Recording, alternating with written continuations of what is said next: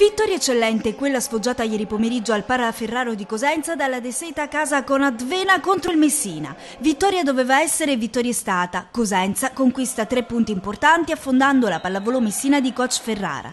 Match a senso unico con il Cosenza che ha condotto e dominato la partita dall'inizio alla fine. Una, una squadra il Messina giovane, sicuramente con delle mh, caratteristiche particolari, proprio perché è giovane si incappa spesso in eh, errori banali banali però sono ragazzi che crescono, che possono mettere in difficoltà e soprattutto si possono galvanizzare con l'entusiasmo, capisci, possono portare la partita punto a punto e poi lì diventa dura. Eh, bravi i miei a mantenerli sotto, a forzare nei momenti opportuni e è andata bene. Venivamo da una partita contro il Pussano non giocata, contro una squadra questa di tutto rispetto anche se formata da tantissimi giovani e noi non aspettavamo altro per rimetterci in marcia e per continuare il cammino verso una vetta che cercheremo di raggiungere il prima possibile. Ottima reazione e segnali positivi provenienti dagli uomini di Marano dopo la sconfitta rimediata contro Pulsano due settimane fa. La squadra rossoblù ha facilmente controllato una partita giocata per lunghi tratti a ritmi blandi e con la pallavolo messina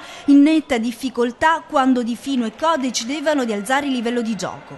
Le impennate della squadra Bruzia sono risultate letali per i peloritani, apparsi inesperti e un po' intimoriti. Noi non guardiamo la classifica chi incontriamo, cerchiamo sempre di fare un po' meglio di quello che abbiamo abbiamo fatto stasera, soltanto che stasera ci hanno messo molto in difficoltà, quindi eh, giocando poi durante la partita qualcosa si è visto nel terzo set, ma anche in altre fasi della, della squadra. Abbiamo, eh, della partita abbiamo potuto fare qualcosa, però eh, ovviamente le differenze erano enormi, non, è, non solo di classifica, come organizzazione di squadra.